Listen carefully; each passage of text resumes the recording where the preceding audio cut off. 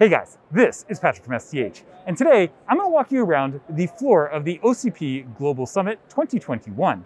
Now there are not that many people here because we're still a little bit in pandemic, and so my idea was, why don't we go walk around the floor and just kind of go look at what are like the coolest things that are there. Now if you don't know what OCP is, the Open Compute project was really started by Facebook, Microsoft joined early, and nowadays it's basically become the de facto stand for, standard for a lot of the hyperscalers for you know kind of the hardware that they make and they kind of have standardized a lot of things. And you know it's not just like really for hyperscalers anymore. What we're starting to see is that really is influencing a lot of designs that you see even in the enterprise.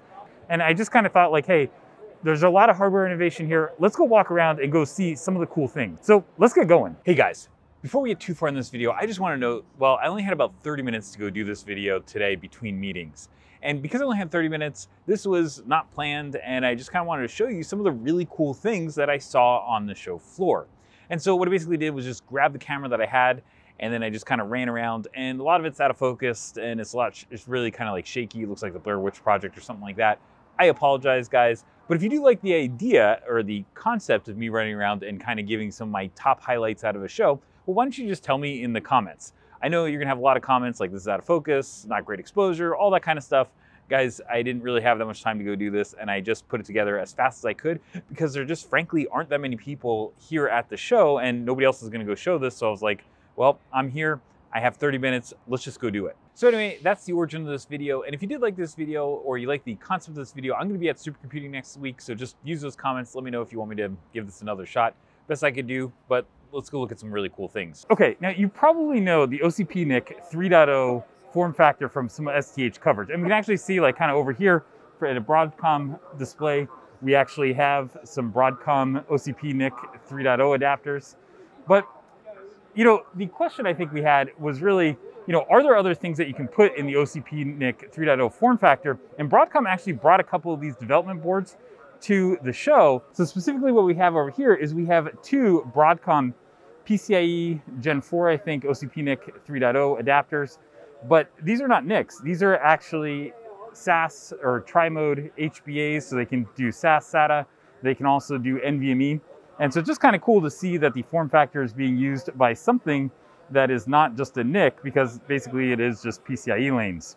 So anyway, that's just something cool that I saw and I want to share with you guys. Okay, now this thing behind me is a 350 terabit per second router, which is absolutely insane. And you can see the giant purple cables. And this is from a company called Credo. And let's go take a look at these cables real quick because this is super cool. All right, so basically what these are, are these are all 400 gigabit ethernet cables and there's two different types of, they're basically copper cables with retimers, which is, I guess, a big difference because you get better signal integrity, especially if you're trying to get out to like five meters or something like that.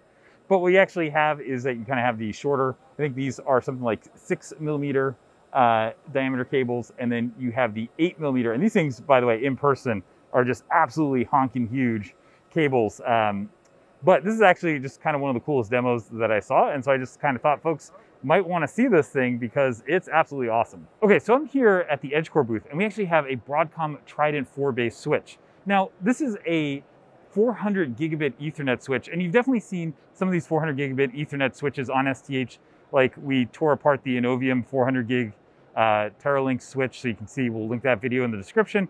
But Broadcom, you know, of course, is the big silicon provider in this space and they actually have a 400 gig ethernet solution and that is basically this switch right here. So let's go check this out. And so what you can see here is that we have 32 400 gig QSFP DD ports.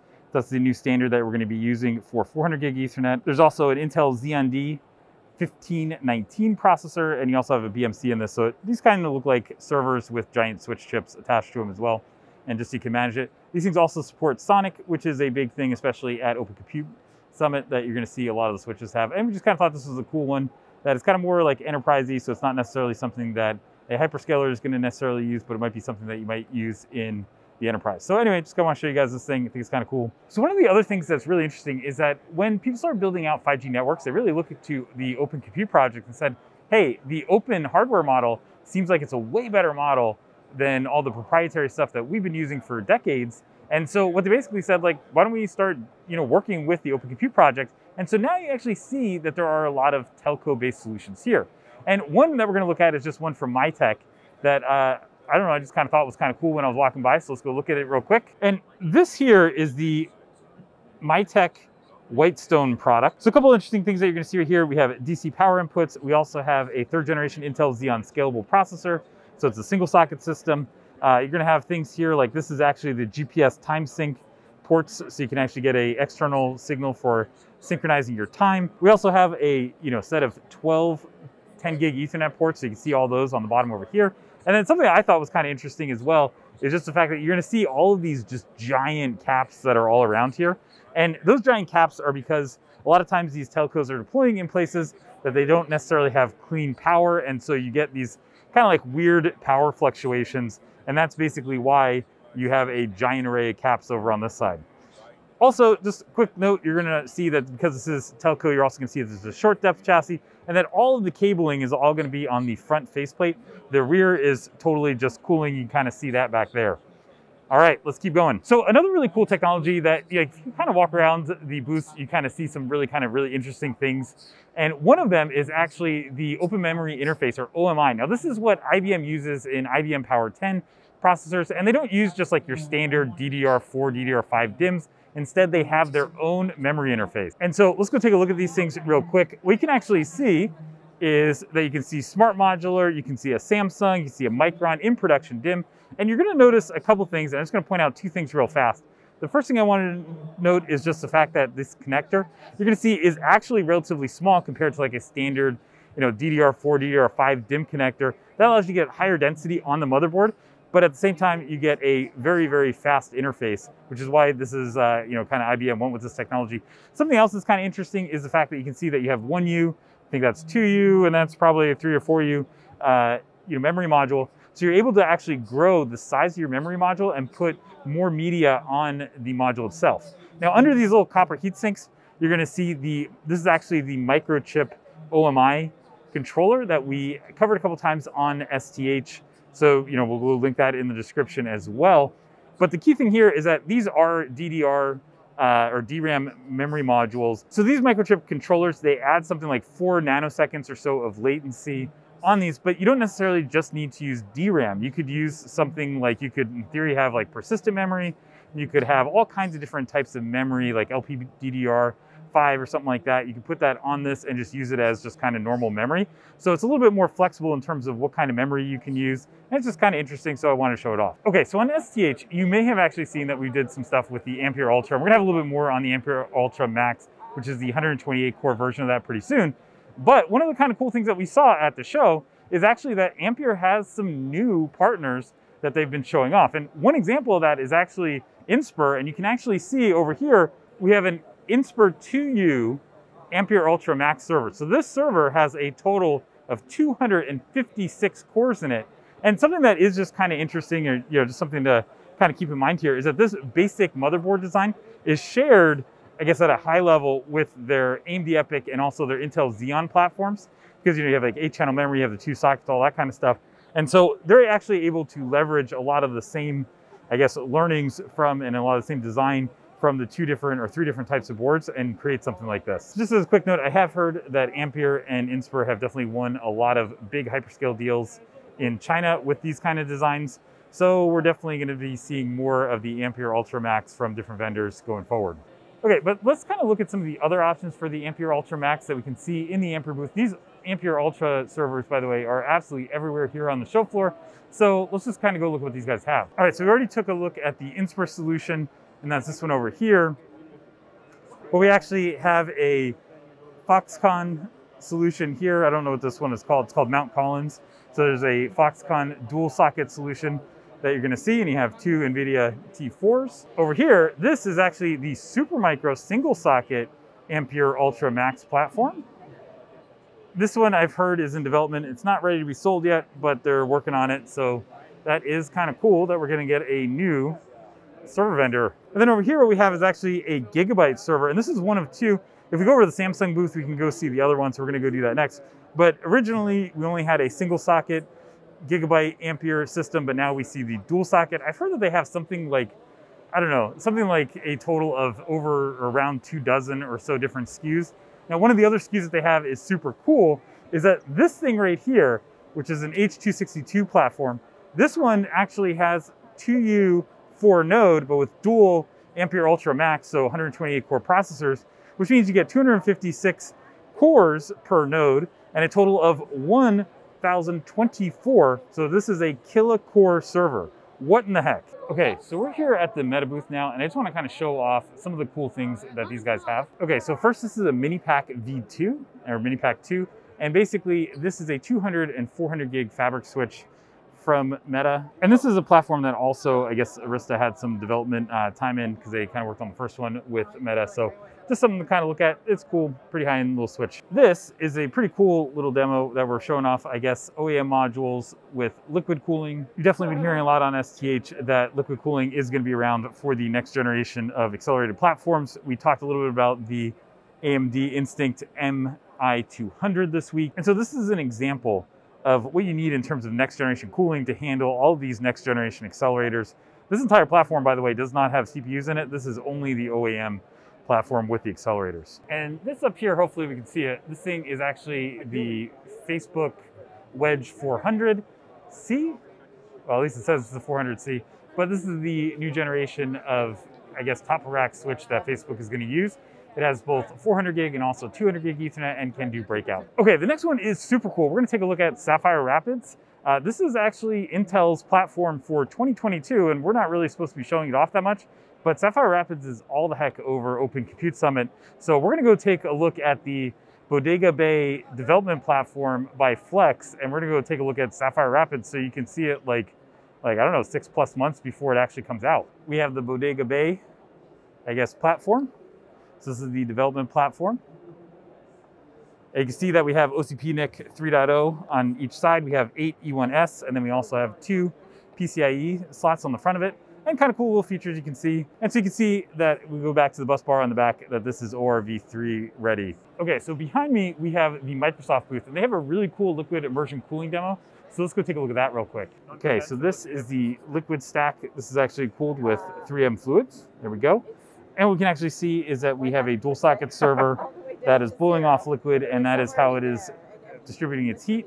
Okay, so people were standing around looking at me really awkwardly while I was doing this because I was awkward as well. But basically what you have there is you have a liquid cooled Microsoft server and you can actually see the boiling liquid, which helps do things like circulate the fluid. It also helps make sure that you get all the little air pockets out over time because you actually are doing the boiling and it's not just a static liquid tank. Okay, the next one we're gonna look at is something really cool. Now, you might be saying like, how do you go and run OCP servers if you don't necessarily have a giant OCP rack? And we're gonna see something that I definitely want one of. I figure out how to go get it. And this is actually the Sesame by IT Renew Discovery Edge solution. And this is actually how you can go run OCP servers without having to have an entire OCP rack. So let's go look at what the heck this is, because it's kind of a little hard to see, but we're gonna move around where there's more people and hopefully get a good, couple good shots for it. Then when we get to the front of the platform, what you're actually gonna see is that we have a MikroTik CRS 305. We have a video on this one on the STH uh, YouTube channel. We'll link that in the description. We can see that basically this platform has different shelves. So you have the ability to go and add a whole bunch of different nodes into this. And then at the bottom here, what you can actually see is that there's a Corsair power supply and that actually allows you to go from kind of like standard wall power. And then there's the converter board over here. And then on the back of the system, I don't know if we're gonna be able to see it, but you can see that we have the bus bar here. And this is what actually allows you to go and run all these OCP nodes instead of having a big open rack chassis. You can actually just kind of go do it at the edge. And so I always kind of think this thing is super cool. And I'm probably gonna send them an email and see if I can find a way to purchase one of these so we can have it for the STH lab. Okay, so we covered this on the STH main site earlier this week. But behind me, we actually have the Kioxia CD7 NVMe SSD. Now, this SSD is PCIe Gen 5, which is absolutely super cool. And it's specifically designed really to take like maybe or saturate maybe like two lanes of PCIe Gen 5. And the idea there is that if you had like 16 lanes of PCIe Gen 5, you can put a total of eight of these devices on those 16 lanes to get more devices, which means more capacity. And so just something that's kind of really cool in terms of you know something that we're seeing at the show. We're starting to see PCIe Gen 5 devices get released. And this is an HBM3 die. This is actually what you see on a lot of next generation accelerators like GPUs, FPGAs, all that kind of stuff, and potentially even CPUs. And so we actually get to kind of see a 24 gigabyte HBM3 die sitting here on the show floor. Okay, so I'm here at the booth of Smart Modular Technologies, and they have some really cool memory things here that I don't know, we just have to kind of look at. So let's take a look at a couple of these things real quick. All right, so first off, this is actually a CXL based uh, eDSFF uh, 3. So I think that's an E3S 2T module because it's a little bit thicker. And you're gonna see that that basically allows you to put DRAM on your PCIe bus. It'll be like PCIe Gen 5. And that's basically what that is. We have a CX, or sorry, C6 memory module. This is a Gen Z memory module. We're probably gonna have some news on Gen Z before this video gets published. So we're just gonna kind of keep that in mind. Okay, now this thing right here though is absolutely insane. This is the Smart Kestrel platform. And basically what you have here is you have an FPGA, and then you're gonna see that we actually have Intel Optane DC persistent memory. Now they call it PMEM, but basically you can use this card and add PMEM into any server that you have, whether that's an AMD EPYC server, an ARM server like the Ampere Altra, Altra Max that we reviewed. You can do definitely go do that. You can also go put it into like Intel Xeon servers and stuff like that. But this is a way to go and use PCIe to go add Intel Optane DC persistent memory to a system, and that is absolutely wild. We get a lot of questions on, you know, can you use Optane with EPYC? I had no idea that this thing even existed, and so this is definitely making our top 10. Okay, so we're definitely gonna cover liquid cooling a lot more at supercomputing, but there was a demo here that I thought like, we just have to show because it is so darn cool. And that's specifically the Submer demo. So what this basically is, and if you don't know Submer, they basically make liquid immersion cooling uh, tanks and like systems and stuff like that. But they have something at this show that you can kind of see, it's a little blurry behind me, that I think is like crazy cool. And let's go look at what's going on. Okay, so this thing is Ada. And basically one of the challenges when you have a liquid immersion tank is that the servers are actually placed in the tank vertically instead of horizontally like they would be in a rack. And so what Ada actually does is takes the servers and can actually move them out of the vertical racks and put them into horizontal racks you can kind of see this thing moving. This is super cool. And so the idea is that you can actually have autonomous data center operations with liquid cooling immersion uh, or liquid immersion cooling. And just real quick, we're gonna get in here a little bit. You can actually see that we have some cameras and stuff.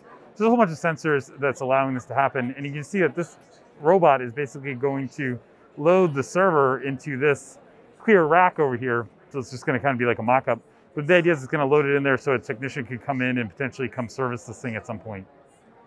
So I just thought this was super cool. Probably gonna see a little bit more of it next week in St. Louis, but want to show it off now. Okay, so one of the coolest things that we definitely saw here was the 128 terabyte SSD. Now this is an E3S 2T module, which means that it's kind of like a double width.